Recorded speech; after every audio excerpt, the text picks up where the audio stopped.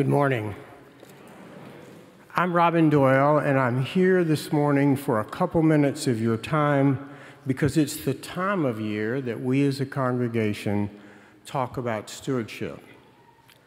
As Pastor Pablo guides us through the teachings of Jesus about how we as Christians need to be of service, and as we think about how we can do that, I'd like to share with you some of what we as a congregation have done in the past because it should help us as we reach out to the future.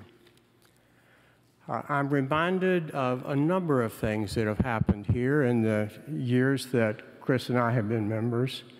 Um, many years ago, one of our Presbyterian Women's Circle received an unusual gift. They were given a gift of a large quantity of wheat. It came in containers that were sealed, and it was such a large amount that it was rather intimidating. But they didn't hesitate for very long. Rather than take the wheat home or use it for church dinners here, they ground the wheat, baked it into bread, and took it to Immokalee for farm workers who might not have enough to eat.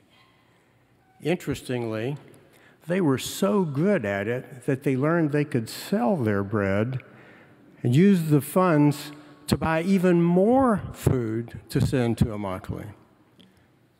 And many of you have participated in similar efforts here. Uh, a lot of you remember working to help prepare Thanksgiving dinner for Immokalee uh, for, largely for the farm workers there. Uh, you gave your time processing and roasting turkeys, uh, putting together a meal, sometimes for as many as 4,000 people. That effort was led by a couple in our congregation for 30 years and provided a Thanksgiving meal every year for many. Probably more important than the meal, it provided proof that God cares about the whole community and the people that were served. I could tell you more stories about the congregation and efforts to reach out to others and about the legacy of service that you have, but it's time for us to look to the future.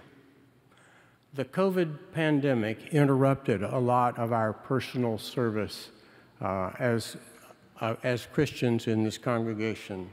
But it's time for us to step up again. So as you fill out your pledge cards that uh, you see in the pews, uh, let's not forget that we also need to pledge our time and our efforts to follow the admonition of Christ to love and serve each other.